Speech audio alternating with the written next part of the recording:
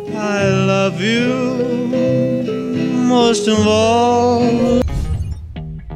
Benjamin Keough, the son of Lisa Marie Presley and grandson of Elvis Presley, has died at the age of 27. Keough was also the brother of actress Riley Keough and son of musician Danny Keough. TMZ reported that Benjamin died Sunday, July 12th in Calabasas, California from a self-inflicted gunshot wound. The Hollywood Reporter has reached out to the Los Angeles County Sheriff's Department for comment.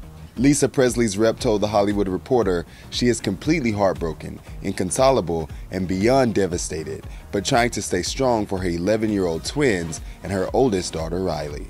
She adored that boy, he was the love of her life. In 2013, Lisa told the Huffington Post that she was letting Benjamin do his own thing, stating, I'm going to let him decide when he wants to go out and do what he wants to do.